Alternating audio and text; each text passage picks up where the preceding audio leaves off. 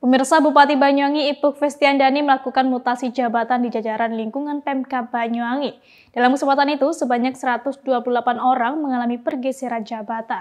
Kegiatan mutasi jabatan ini merupakan yang kedua kalinya dilakukan di lingkungan Pemkab Banyuwangi.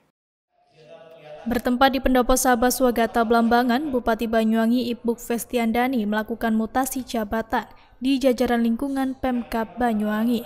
Dalam kesempatan itu, ada sebanyak 128 orang mengalami pergeseran jabatan.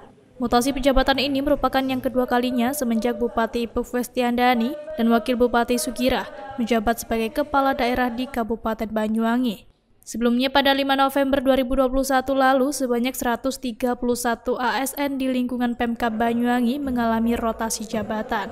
Sementara itu, Bupati Banyuwangi Ipuk Festiandani mengatakan Pelantikan yang dilaksanakan di Pendopo Sabah Swagata Belambangan ini ada sebanyak 128 pejabat yang telah resmi dilantik.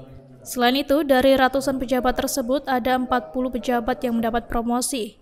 Ipuk meminta kepada kepala dinas hingga camat yang dilantik agar turun dan mendengar langsung permasalahan di masyarakat. Selain itu, ia juga berpesan agar pejabat yang telah dilantik melanjutkan empat prioritas kebijakan menangani permasalahan kemiskinan yang telah 10 tahun berjalan. Di antaranya kemiskinan berkaitan dengan masyarakat yang mempunyai rumah tidak layak huni, masyarakat yang tidak bisa makan, masyarakat yang tidak bisa berobat, dan anak-anak yang tidak bisa sekolah. Menurut Ibuk, penanganan masalah kemiskinan bukan hanya tugas camat, tapi juga adalah tugas kepala dinas, sekretaris dinas, semuanya yang ada di kedinasan, rumah sakit, hingga puskesmas. Dari Banyuwangi, Rizky Hidayat, Nasional TV melaporkan.